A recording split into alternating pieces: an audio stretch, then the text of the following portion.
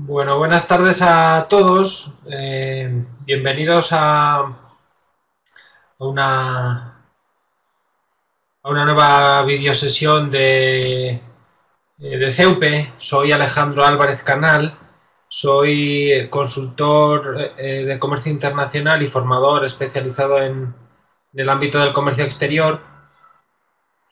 Y soy tutor de varias áreas, de varios eh, másters y cursos de especialización de CEUPE, del, máster en logística, del máster en comercio internacional y del máster en eh, gestión de la cadena de suministro, fundamentalmente en el ámbito, tutorizo asignaturas en el ámbito de, la gestión aduanera, del comercio internacional, de la logística, eh, política de costes, etcétera. Bienvenidos a todos. en primer lugar, bueno, agradeceros vuestra presencia, el, esfuerzo por, atender a esta videosesión eh, que, bueno, la, he titulado, la hemos titulado Cinco claves del nuevo comercio internacional. Eh, tratamos de que sea, personalmente yo he tratado de que sea una sesión un poco más amena, un poco más, eh, bueno, digamos que, fresca de, para vosotros, que ofrezca un punto de vista un poco más eh, relajado sobre bueno, pues la, realidad actual del comercio exterior, del comercio internacional, y espero que así sea. Eh, podéis, como os sintáis más cómodos, podéis ir planteando preguntas. Yo, casi prefiero, eh, bueno, irá todo surgiendo, pero yo casi prefiero que esperemos al final de la sesión que abramos quizá un turno de preguntas y si tenéis alguna duda, pues lo vamos a ver eh, específicamente en ese momento. ¿Vale? Bueno. Eh, el, objetivo de esta sesión entonces es conocer los, los un poco la, situación de los nuevos, de los posibles nuevos paradigmas, digo posibles entre paréntesis porque eh, en algunos casos son cuestiones ya bastante recurrentes, bastante, bastante bueno, pues analizadas ya por muchos autores y por muchas, eh, en muchos foros y en muchos manuales y en muchos libros y en mucha literatura, ¿no? Vamos a pasar por, cinco bloques fundamental, cinco claves, cinco paradigmas, eh, cinco aspectos claves de este nuevo comercio internacional, eh, que va a ser el, Bitcoin y las, y las criptomonedas, las, las, guerras comerciales actuales que se están librando en el planeta, los, nuevos productos. nuevos productos lo vamos a centrar un poco sobre todo en tres bloques. Vamos a hablar también de contaminación y más, aunque de contaminación, sobre todo vamos a hablar de sostenibilidad y de desaceleración como una, una, nueva alternativa del, bueno, pues del comercio exterior, del comercio internacional. Y luego vamos a hablar también de ese nuevo orden político que quizá está bastante ligado con el, con el bloque de las guerras comerciales, ¿vale? Eh, bueno, la primera van a ser ideas bastante claras, bastante claves, bastante sencillas. No pretendo eh, que salgamos de aquí eh, sabiendo, teniendo un amplio conocimiento de todos estos cinco temas que nos daría cada uno de ellos para un curso de especialización posiblemente. Eh, el primer bloque, el primer tema, la primera cuestión que yo quiero analizar es el, eh, tema del, Bitcoin, de las criptomonedas, sobre todo, y de la cadena de bloques, del blockchain. Eh, fundamentalmente quiero plantearos alguna, alguna idea clave de esta, bueno, pues de esta nueva realidad, ¿vale? ¿qué, es el Bitcoin? No sé si alguno habéis tenido la oportunidad de, de conocerlo, de, operar con él incluso. Bueno, el, Bitcoin o las, criptomonedas podemos definirlos como eh, unos nuevos medios de pago, unas nuevas fórmulas de pago que se realizan de manera, que se efectúan o que permiten eh, movilizar capital de alguna manera, de una manera descentralizada eh, y, y, con dos, bueno, con muchas ideas claras, pero fundamentalmente con dos eh, cuestiones fundamentales, que es que eh, operan sin necesidad de intermediarios financieros y que a su vez eh, pues son medios de pago que se basan en la criptografía. ¿no? ¿Qué es esto de la criptografía? Que suena un poco a, bueno, pues a, piratería informática casi, ¿no? La criptografía, que es un poco, eh, podríamos decir que donde se, donde reside el, bueno, pues el, actualmente todo lo relativo a la cadena de bloques, al blockchain, son métodos de, que, permiten encriptar la información y que permiten a su vez eh, gracias a esa, eh, información encriptada, intercambiar mensajes, intercambiar información de una manera segura y de una manera privada. ¿Vale? Eso es eh, un poco el, el, el, leitmotiv de estas criptomonedas. No es que no sean legales, no es que no estén legalizados, Manuel.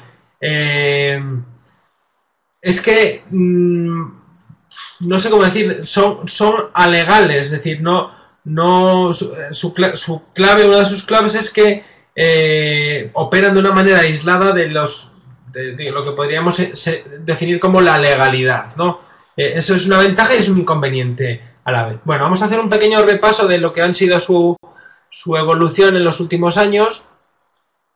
Eh, en los años 80 se inicia casi una revolución en torno a la criptografía eh, eh, a partir de la creación de, Cypher, del Cypherpunk, que es como digamos, el movimiento inicial de la criptografía, del intercambio de, mensajes, de intercambio de información de manera segura y privada, eh, que perdura y que va creando, digamos que un colectivo que, bueno, pues tienen a finales de los años 90 una eh, un hito que es eh, gracias a uno de estos, digamos, hackers o de estos eh, informáticos que crean esta, este sistema de, de, encriptación de la información, crea una criptomoneda como un nuevo tipo de dinero descentralizado. ¿vale? Es decir, en sí la gracia quizá del, de las criptomonedas es que pueden ser una nueva forma de pago, un nuevo, una nueva moneda de alguna manera. ¿no?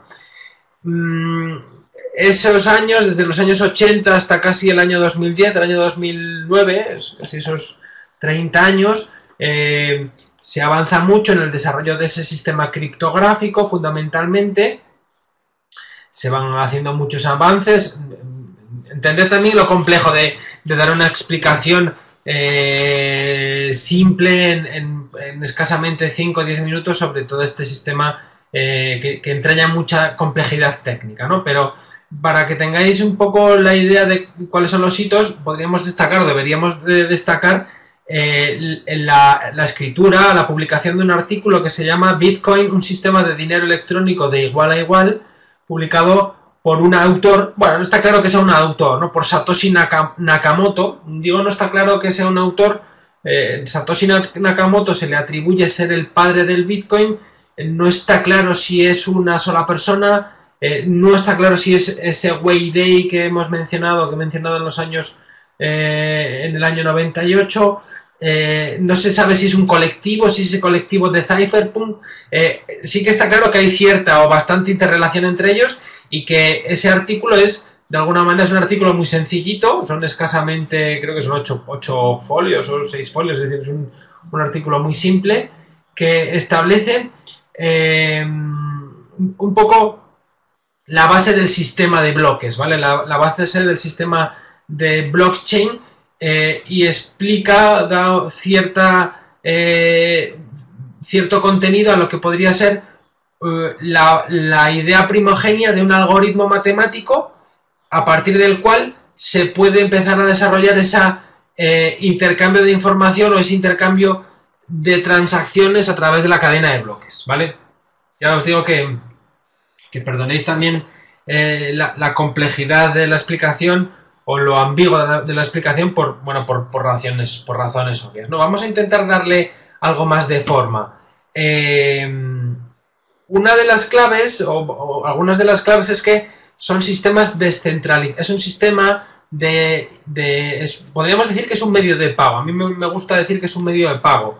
De hecho, en alguno de los manuales que hemos actualizado recientemente, hemos incluido como un medio de pago nuevo, como uno, de las nuevas, bueno, uno de los nuevos paradigmas del comercio internacional, que es de lo que va esta charla, la criptomoneda, el Bitcoin. Entonces hablamos de que es una moneda descentralizada. ¿Por qué? Porque no hay ninguna entidad financiera, ninguna empresa, ningún estado que lo controle a priori. ¿no? Me podríais decir, bueno, pues estaría ese, ese Satoshi Nakamoto o los creadores del, del, modelo criptográfico. Bueno, sí, efectivamente. Eh, eh, puede, que eso, puede que sí que estén detrás ese, ese colectivo, esas personas o esa persona, pero en sí eh, el modelo o el sistema tiene mucha, mucha amiga, sobre todo la complejidad criptográfica, ¿vale? Que es otra de las características, la tercera de las que menciono.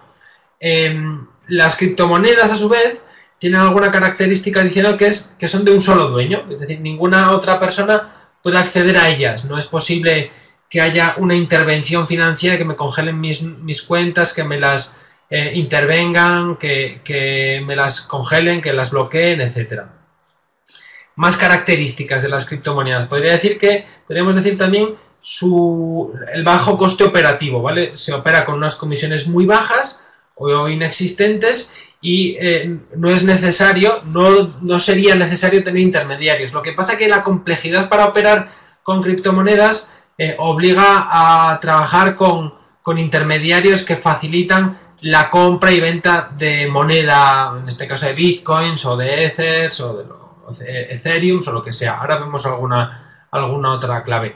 Pueden tener una convertibilidad en moneda tradicional. No es la idea tampoco, es decir, sí que eh, es, una. Bueno, se empieza a tratar, a tratar, casi como un activo financiero muy complejo, eh, con lo cual hay conversión, hay cierta convertibilidad entre monedas, euros, dólares, pesos, etcétera, a bitcoins o a otras criptomonedas. Esa no es la idea en sí. En sí, la idea es que eh, la criptomoneda objeto de transacción sea por sí misma, que tenga valor por sí misma, es decir, que me permita comprar y vender bienes, que es un poco el reto que plantean estas, eh, bueno, las criptomonedas. Alguna idea más también. Eh, con respecto al Bitcoin en concreto, que es un poco el más recurrente, la más recurrente de las criptomonedas, Em, podríamos decir que es un sistema de pago entre participantes que no tiene intermediarios, como es alguna de las características que hemos venido hablando, y que eh, al que se accede a través de un monedero virtual. Tú puedes tener un teléfono móvil y desde tu teléfono móvil pues operar a través de, bueno, pues hay distintos proveedores eh, que, te permiten, por ejemplo, aquí os puedo enseñar alguno que te permite eh, simular, no simular, sino tener un monedero y decir cuál es el valor de tu moneda en ese, en ese momento concreto en bitcoins y ver cómo en su caso pues puede estar subiendo o bajando esa, moneda. Es decir, que es eh, tiempo real puro y duro, ¿vale? Eh, los bitcoins no tienen relación con una cuenta bancaria, Luis Casiano. El bitcoin, la única relación es que si yo, que yo puedo comprar un bitcoin, yo puedo comprar 50 eh, dólares en, bitcoins o yo puedo comprar 35 euros en bitcoins y en ese momento entonces obtengo un equivalente en criptomoneda, en bitcoin en ese caso concreto. Pero simplemente, digamos, se explica en muchas ocasiones como un sistema de peer-to-peer, un sistema de pares como lo que ha venido siendo eh, el emule o el torrent o estos, eh, estos sistemas, eh, estos, estos programas que permiten el intercambio de archivos. Lo que pasa es que en vez de intercambiar archivos, lo que se intercambia es información y dentro de esa información se puede intercambiar eh, operaciones financieras, compras y ventas de, determinados bienes pagados con una divisa, en este caso que podríamos decir que es una divisa electrónica. Bueno, eh, lo de que si es la moneda del futuro o no, a mí sí que me lo parece. aquí hay mucha literatura. Vamos a seguir viendo alguna cosa más. Em, cada una de esas transacciones, de esa información que está dentro de ese bloque que, decíamos, eh, de ese blockchain, em, se registra en ese libro, ¿vale? Ese es el blockchain en sí. Eh, el blockchain no solo es interesante por, el, por, la, por recoger información sobre las transacciones, sino porque eh, entraña todo un algoritmo que explica que, se va mejorando, que, que permite intercambiar información, ¿vale? Entonces, es un algoritmo que es abierto, que, es un código de programación que todo el mundo puede mejorarlo y de hecho ahí está la gracia. Eh, todos aquellos que mejoran el sistema de la cadena de bloques eh, pueden obtener una recompensa, ¿vale? Es lo que se denomina la minería. La minería se llama minería un poco haciendo una analogía con el tema del, oro, ¿vale? Se dice que, bueno, la, creación del, modelo, al menos lo que se ha avanzado en el algoritmo del, del, Bitcoin o del blockchain es que está creado para que en el año 2140 se hayan extraído todos los Bitcoins. ¿Cómo se extraen los Bitcoins?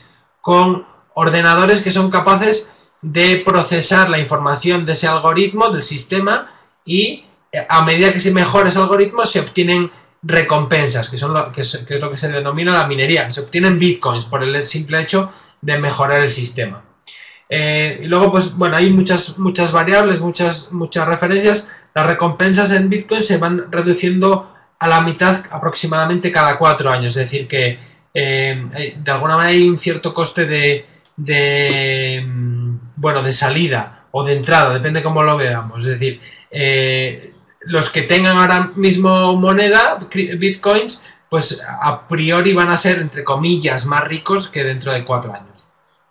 Bueno, ahí os pongo un pequeño esquema de cómo funciona el blockchain. Pues un, usuario haría una, transacción, se crea, se crea un, bloque que recoge esa información de esa, de esa transacción, ese bloque eh, se incorpora a, a la cadena de bloques, al blockchain, y todos los, todos los bloques de la cadena obtienen esa información y la validan.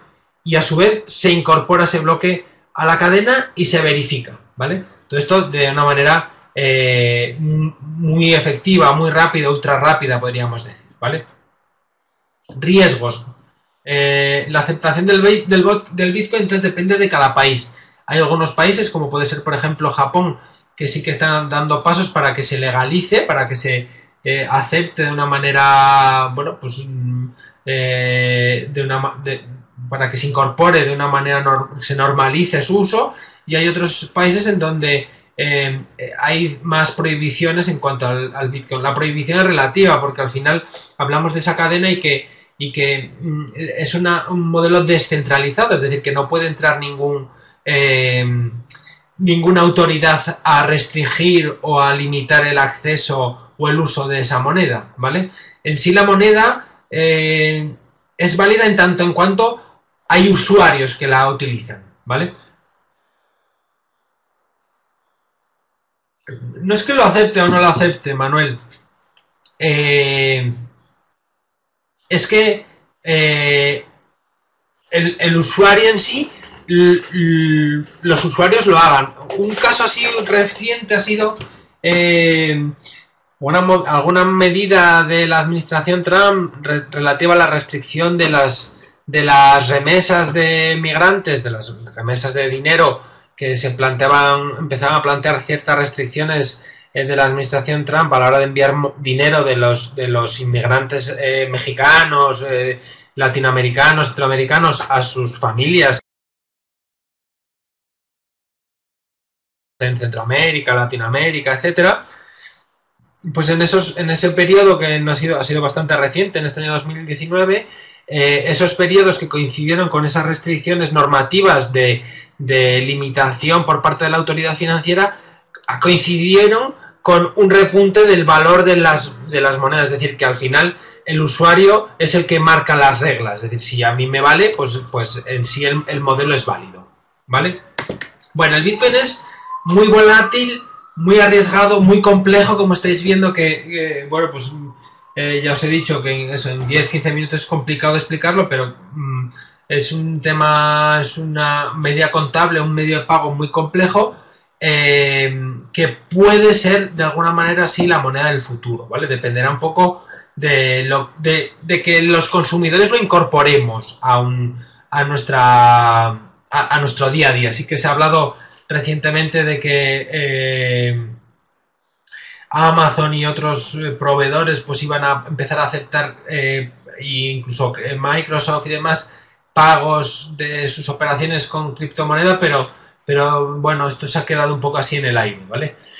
algunas criptomonedas, ahí tenéis algunas, eh, teníamos un pequeño vídeo, pero no lo hemos podido cargar, luego vamos a ver algún vídeo más sobre la, la, libra, que es la moneda que está prevista, previsto, que tiene previsto lanzar eh, Facebook próximamente, que está también planteando cierta controversia legislativa, normativa, eh, etcétera. Yo os animo a que echéis una ojeada y veáis un poco sobre, leáis un poco sobre el tema, ¿vale? Porque es un tema, un tema bastante curioso. Bueno, y ahí veis, por ejemplo, cuál está siendo la, cuál ha sido la evolución. El, el año 2000, finales de 2017 llega a su pico, eh, es muy volátil, como podéis ver en esa curva. Eh, ahí se plantea una, una convertibilidad, una conversión en euros, ¿vale? Y podéis ver luego cómo, cómo a lo largo de este año pues ha ido creciendo, ¿no? No tiene tampoco, no es que tenga más o menos lógica, es que como no hay precedentes, pues tampoco podemos saber eh, si esta evolución es la lógica, la no, no es lógica, eh, etcétera. La Libra utilizará el, algoritmo de Facebook, efectivamente. Eh, desde ahí estará todo bajo control de, la red social, de Facebook en este caso. Entonces, bueno, pues puede tener sus ventajas y sus desventajas también. Bueno, vamos a, avanzar, ¿vale? Luego, si queréis plantearme alguna duda más, la vemos. Siguiente, siguiente clave de estas cinco claves, las guerras comerciales. Eh, vamos a ver un pequeño vídeo, si os parece, Beatriz, lo, lo muevo, creo que era... Espérate...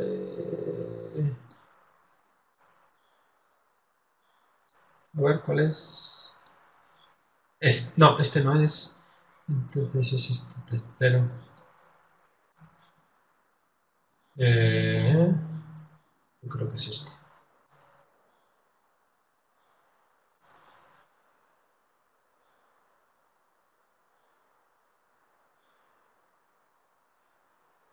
Vale. Gracias.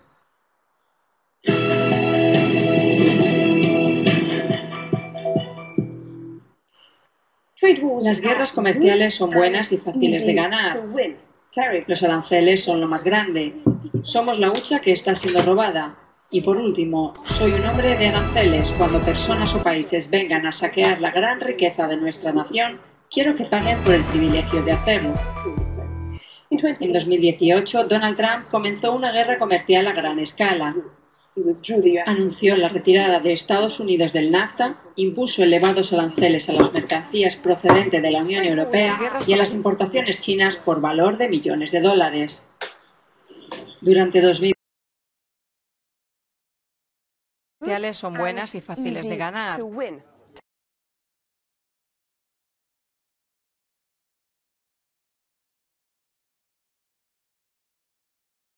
Los aranceles son lo más grande. Somos la única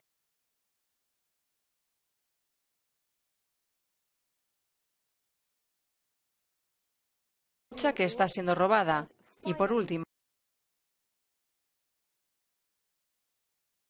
soy un hombre de aranceles. Cuando personas o países vengan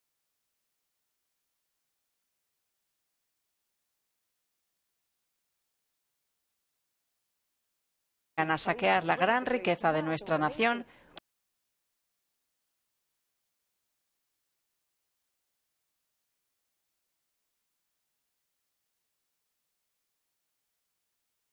quiero que paguen por el privilegio de hacerlo.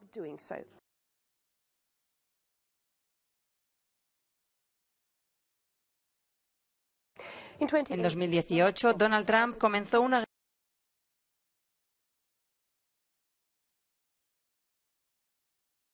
guerra comercial a gran escala.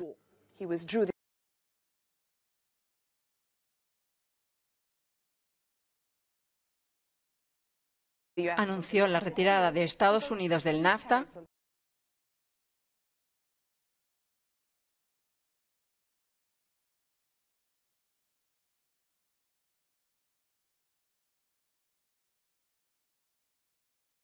impuso elevados aranceles a las mercancías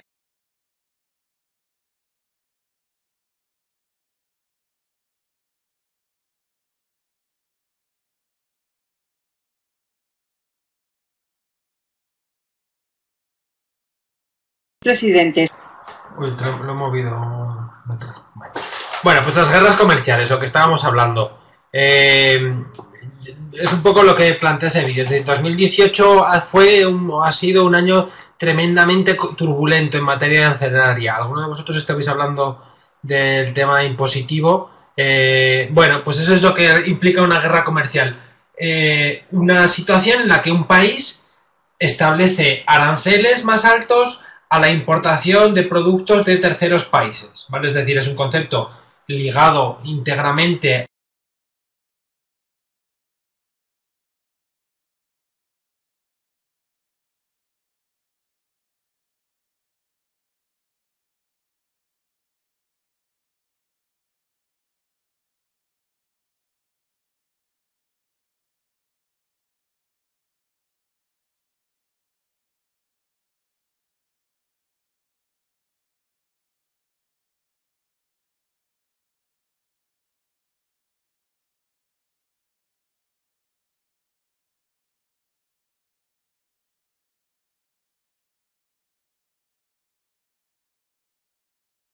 más, ¿vale?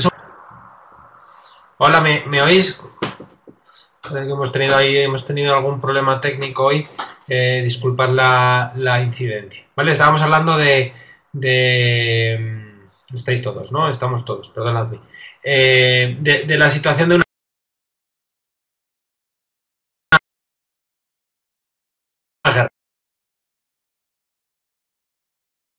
Una guerra comercial al final implica eh, sobre costes, sobre impuestos, eh, eh, impuestos, aranceles a la importación más altos, ¿vale? ¿Cuáles son las principales guerras que se están librando? La China-Estados Unidos, desde los, bueno, desde el principio del año 2000, la entrada en China, la entrada de China en la OMC implica que China se ve como mm, la fábrica del mundo, eh, implica cierto desequilibrio comercial porque eh, no solo Estados Unidos, sino todos los países del mundo prácticamente eh, importamos mm, mm, necesariamente mercancía de China y Estados Unidos en un momento dado, en el año 2018, entiende que, que, China está haciendo prácticas desleales y decide establecer aranceles a una serie de productos. ¿Vale? Eh, al mismo tiempo, China también reacciona eh, imponiendo aranceles a productos estadounidenses que se puedan importar en, China, perdón. Y así sucesivamente, un tira y afloja, una guerra comercial. Eh, se inicia un procedimiento de, resolución de consultas, de controversias que no, que no funciona y lo último ha sido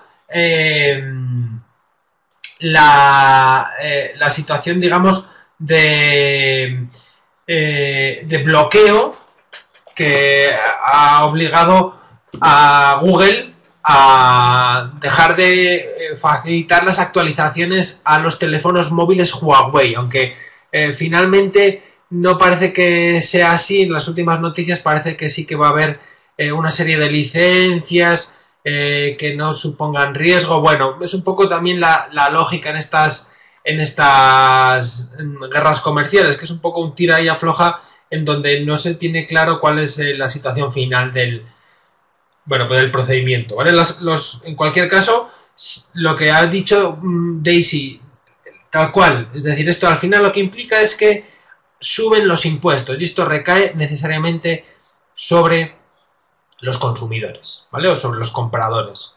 Entonces, pues bueno, eh, el impacto es ese.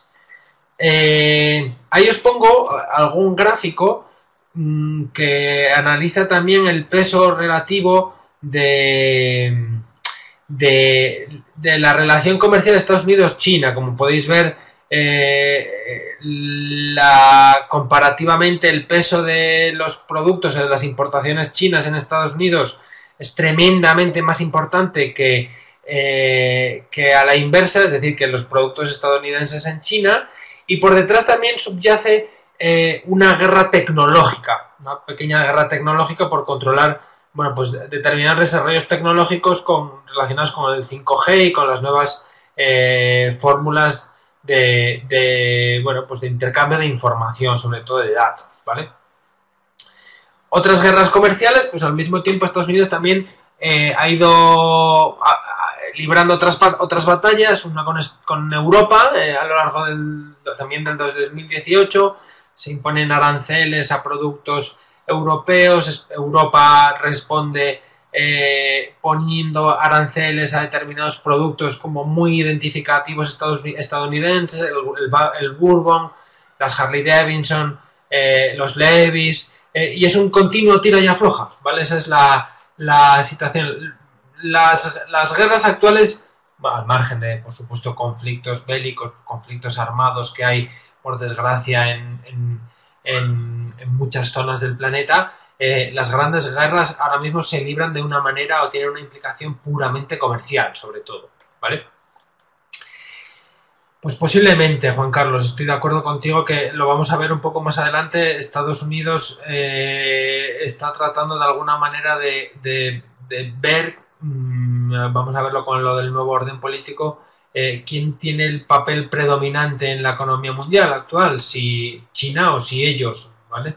Entonces, bueno, pues la situación es esta. También ha pasado algo parecido con el tratado, con el antiguo NAFTA, con el Tratado de Libre Comercio de México, Estados Unidos y Canadá, eh, en donde pues se ha, habido unas durísimas negociaciones y aunque ese Tratado de Libre Comercio busca justamente eh, que eh, los productos de los tres países, Estados Unidos, México, Canadá, puedan ser comercializados en esos, en esos países a, unos aranceles más bajos, pues recientemente ahí ha habido eh, anuncios muy recientes, estos de hace unas semanas, de, subidas del 5% a los, a los al tomate estadounidense, eh, etcétera. Y es todo esto, a pesar de todo esto, pues eh, por ejemplo Estados Unidos tiene como principal socio comercial a, México. Entonces, bueno, mm, ahí, ahí os pongo un tweet del señor Donald Trump que habla de que él es el hombre arancel.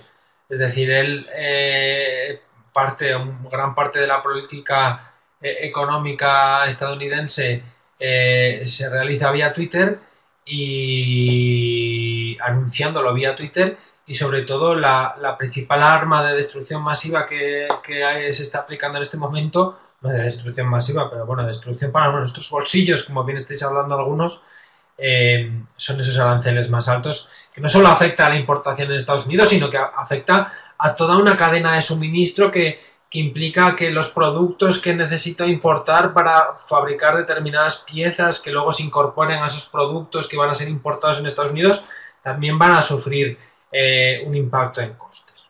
Entonces, bueno, pues esa es la, situación de, esas guerras comerciales. Bueno, tercer tema, tercera clave que quería comentar con vosotros hoy, el tema de la sostenibilidad, contaminación, eh, impacto medioambiental, como queramos verlo. Eh, bueno, algunas claves. Mm, estamos en un marco en el que la normativa debería de, girar en torno al protocolo de Kioto, que buscaba un descenso de las emisiones de gases de efecto invernadero. ese protocolo, aunque se firmó por muchos países, muchos de ellos no lo ratificaron, como es el caso de Estados Unidos, otros lo han abandonado, como es el caso de Canadá, y otros, como, somos como es el caso nuestro en España, aún habiéndolo ratificado, firmado y publicado y, teniendo acervo de ley, no lo estamos cumpliendo. Entonces, bueno, pues es un problema grave. Eh, estamos en una situación en la que posiblemente, bueno, pues eh, sea necesario dar una reorientar todo, nuestra, todo nuestro modelo económico, productivo, tecnológico, etcétera, hacia, hacia una cierta racionalidad. Eh, hay, problema, hay un problema evidente eh, relacionado con el, con el, uso y el consumo de, combustibles fósiles. Algunos países están tomando, tomando medidas, como es el caso de los países eh, del norte de Europa, Alemania, países nórdicos, Dinamarca, Suecia, Finlandia, en donde sí que se están avanzando mucho en el, en el uso de energía renovable, pero en otros casos, bueno, pues están tomando otras estrategias. Francia eh, eh, ha incorporado mucha energía nuclear, eh, es peligrosa, pero no es directamente contaminante en términos de efecto invernadero. Suiza está planteando recortar el consumo energético. es decir, sí que parece lógico, parece obvio que se está demandando un cambio del modelo, ¿vale? Entonces, tenemos también que tener en cuenta que, todo el proceso tradicional de crecimiento económico, de esa liberalización, ese librecambismo que es tan, tan sano, tan necesario para el desarrollo de nuestra economía, eh, pues tiene un impacto negativo en nuestros, en nuestros recursos naturales, en nuestro medio ambiente.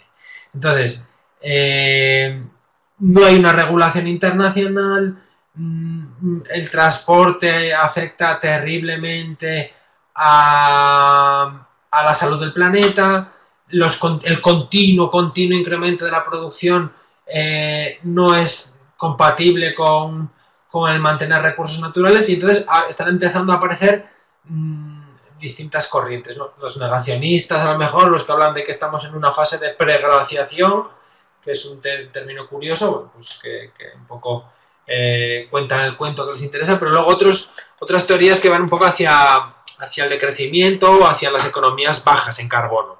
Entonces, bueno, eh, os cuento un poco, tenía ahí algún vídeo preparado, pero os cuento un poco esa idea del decrecimiento, de esa, corriente económica, que habla de que, eh, de que es necesario conservar el, o sea, hacer una disminución controlada de la, de la, producción si queremos conservar el medio ambiente. Entonces, eh, tiene unas pautas que son seis valores, que es eh, reestructurar, redistribuir, relocalizar, reciclar, reutilizar y reducir.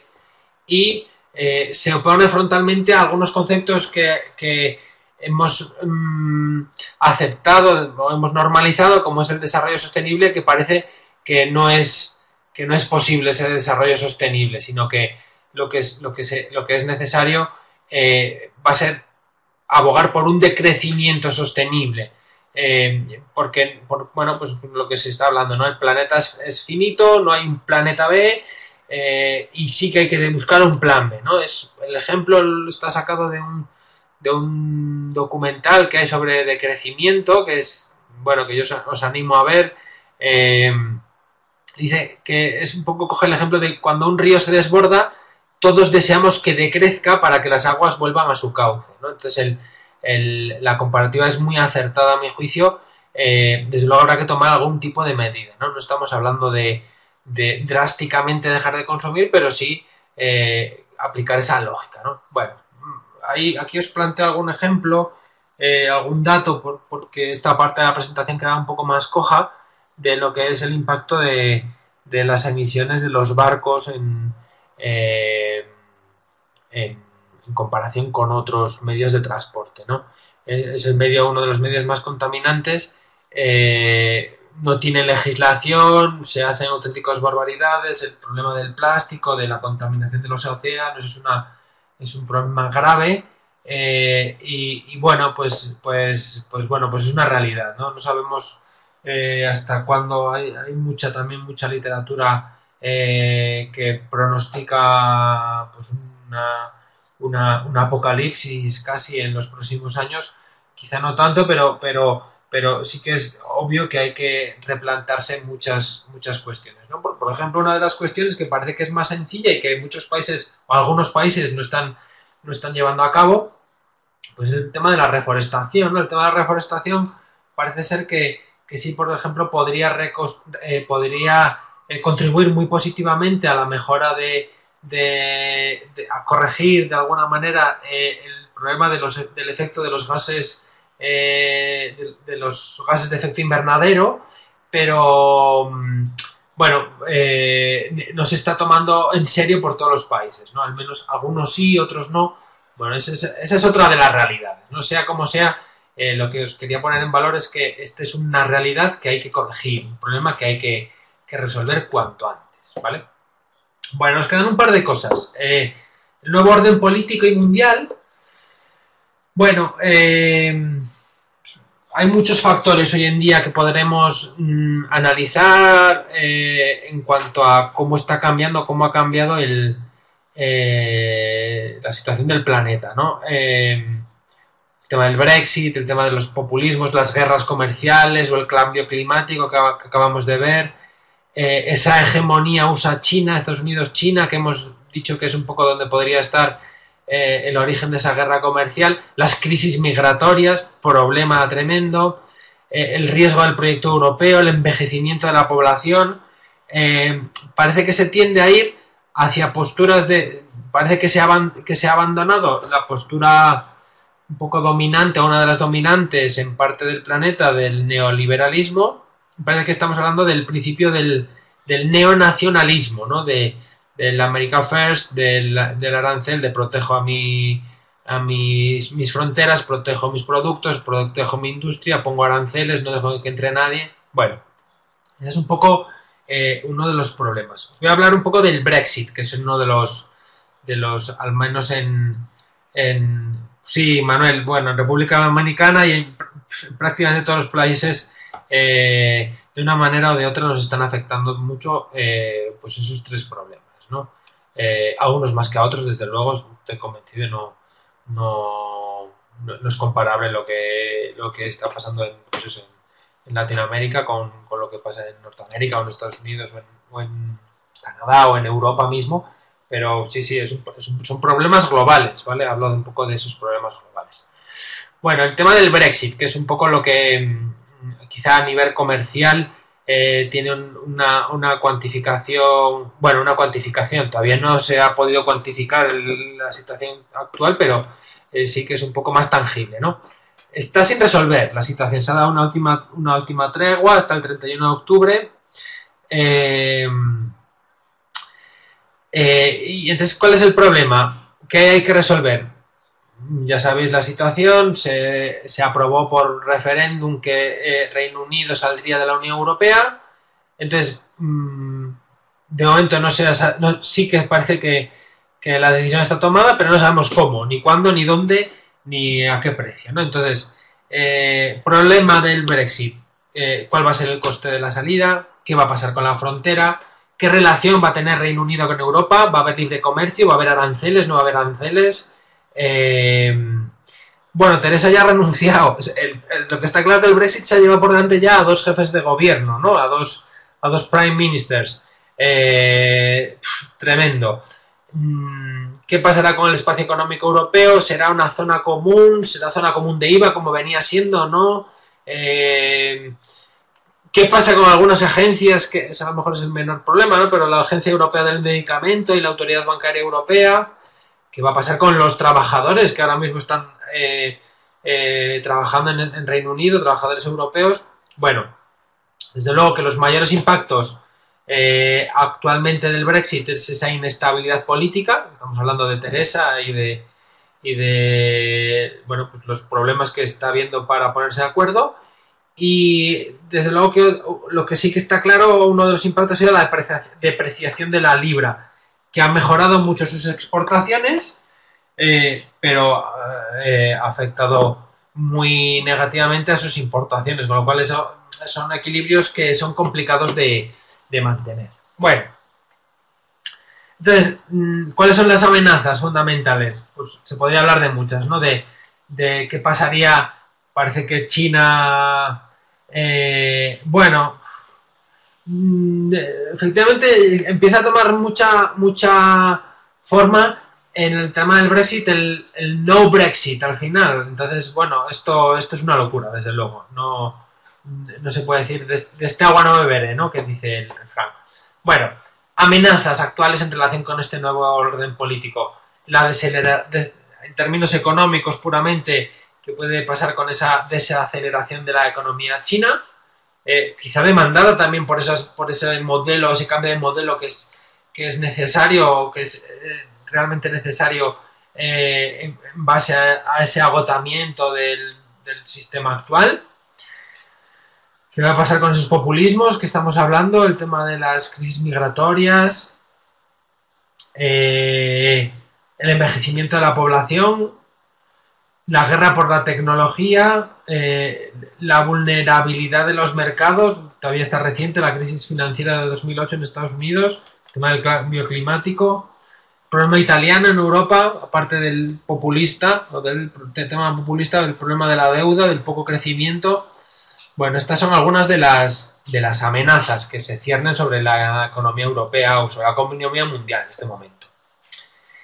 Y un poco por, darle eh, ponerle una guinda a esta presentación un poco más positiva, quería contaros eh, algo de los nuevos productos que parece que pueden afectar de alguna manera parte del, mercado actual o que están ya afectando parte del mercado actual.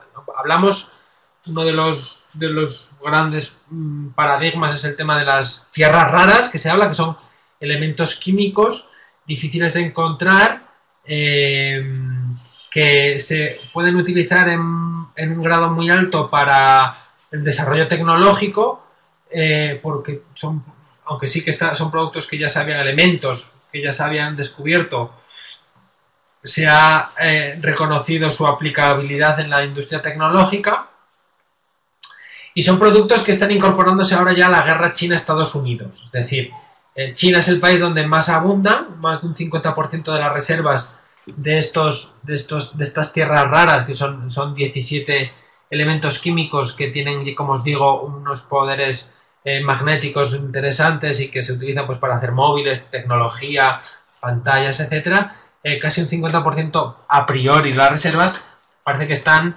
en, en China, ¿no? Y entonces es una de las también de los problemas, a su vez, un poco si veis estos paradigmas retroalimentan unos de otros, ¿no? Este es uno de los problemas que también está afectando al, caso de la guerra comercial Estados Unidos-China, ¿no?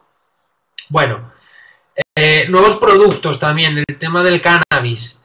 Eh, es una realidad.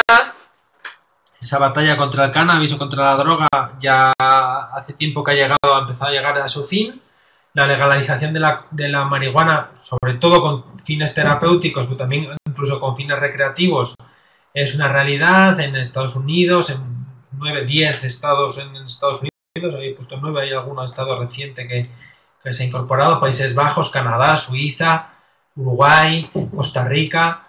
Eh, y no solo esto, sino que además el, el, cannabis ha, ha creado valores que son rentables, que es decir, que están cotizando en algunas de las bolsas más importantes del planeta. ¿no? Os pongo algún ejemplo de, algunos índices, hay algunas empresas ya que, se están empezando a convertir, quizás sobre todo más en el ámbito terapéutico que en el recreativo, pero que también eh, en valores de realmente interesantes. ¿no? Entonces, eh, bueno, pues es, es una realidad eh, que es un que es un nuevo producto que puede tener bastante potencial, cierto potencial en el futuro, ¿vale? Eh, sin embargo, el tema del despegue en Europa todavía no es una realidad, ¿no? Eh, sí hay en algunos países donde el, consumo y el uso con fines terapéuticos y con fines recreativos pues ya es real, pero no, es, una, no es, no es una situación homogénea en todos los países. Entonces, bueno, esa es la otra situación. Y luego, en el sector servicios eh, también están incorporando nuevos productos o nuevas realidades, ¿no?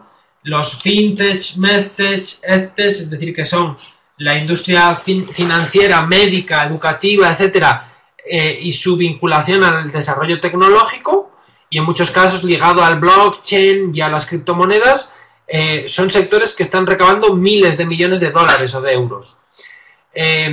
Ligando también con el tema, esto ligándolo con el tema del blockchain y de la criptomoneda, y ligando con el tema de la contaminación y del uso racional o de la racionalidad en la producción y en el consumo incluso, eh, han, aparecido nuevos actores con el carpooling, como Cabify, con el, con el ride sharing, que es una herramienta, una página que en, España pues está, se ha vuelto muy, muy relevante, BlaBlaCar, que permite compartir eh, espacio en los viajes que realices con otros usuarios y hay ya modalidades muy similares en otros países de Europa y del mundo.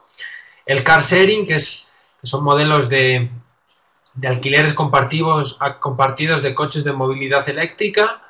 Entonces, eh, el tema de la movilidad junto con la preocupación medioambiental y modelos de economía colaborativa, sí, exactamente, son automóviles compartidos. De una u otra manera, no deja de ser eh, modelos de, automóvil compartido que, que plantean Mm, prácticamente ventajas para todos, ¿no?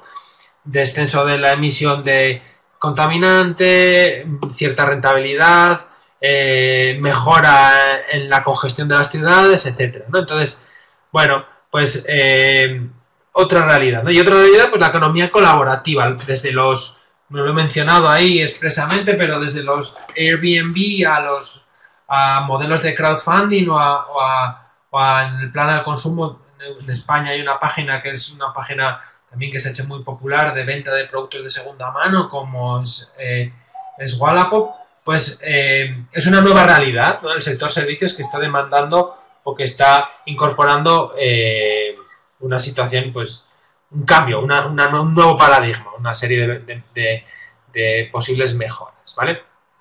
Entonces, bueno, pues este era la, el, último de los paradigmas. Vamos a hacer alguna... Algún, perdonadme, que quería haber puesto conclusiones, no nuevos productos. Entonces, bueno, como conclusiones, ¿no? Algunas ideas, ya las hemos repasado todas. Eh, en cuanto a las guerras comerciales, lo que estáis diciendo algunos, que los mayores afectados somos los consumidores, ya que eh, eh, esa, esa bueno, el tema de la inseguridad, al final hay, ya se han incorporado varias compañías aseguradoras, ese modelo del car sharing, carpooling, de los automóviles compartidos, que aseguran los viajes también. efectivamente, da cierta inseguridad, ¿no? Pero, pero bueno, se entiende que, que tiene que haber racionalidad por los usuarios de esas plataformas. No, no puedes eh, pretender conducir o manejar borracho o, drogado o bajo los efectos de medicamentos o similares. Claro, eh, pero son problemas que además, que bueno, que pueden ser comunes a un padre de familia que, que, no aplique la racionalidad con sus hijos o con su mujer. ¿no? Entonces, bueno, tampoco es el, el mayor problema, aunque sí que entiendo que es una debilidad. Bueno, de los aranceles como una conclusión, que somos los, los usuarios los mayores afectados. tema de las criptomonedas, las tierras raras, el cannabis, eh, etcétera, como valores, productos del futuro. Eh, el lanzamiento de esa cuestión de que si nos dirigimos a un modelo de decrecimiento, si será negativo, eh, tendría que ser negativo, positivo, crecer, tener dinero o tener planeta que preferimos.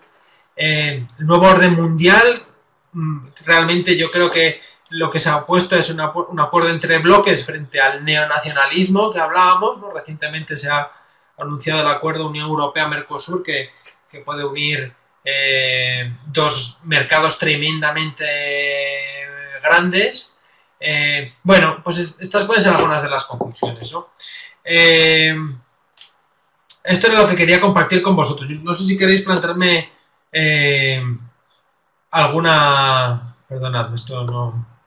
No sé si queréis plantear alguna duda, alguna consulta, me tenéis a vuestra disposición un par de minutos.